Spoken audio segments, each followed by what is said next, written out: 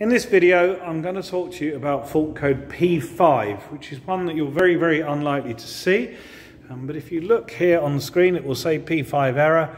Um, what it means essentially is that the machine has spotted that there's an abnormal difference in temperature between the two pipes coming out the back of the unit. So it measures this just on the other side, um, down inside in the heat exchanger. If we look carefully, see the heat exchanger at the back there with the yellow sticker on, and you can actually see there's a sensor down the bottom here and there's another one at the top. And essentially what this is saying is that the unit's running and the temperature difference between the water going in and out is far too high.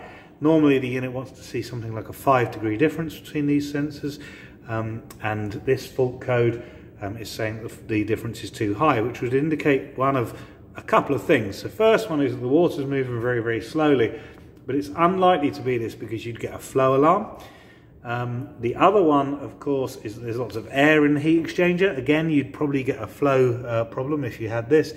Um, but it's worth a check. So if you whip the side panel off and look up inside here, um, just in this box here, it's difficult to see, but in here is a AAV.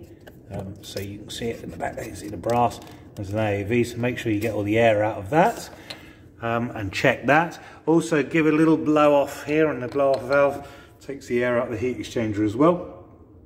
But much more likely is that one of the sensors that you see in the heat exchanger down the bottom there has fallen out. So just check they're both firmly in place and then reset the fault and the unit will go away.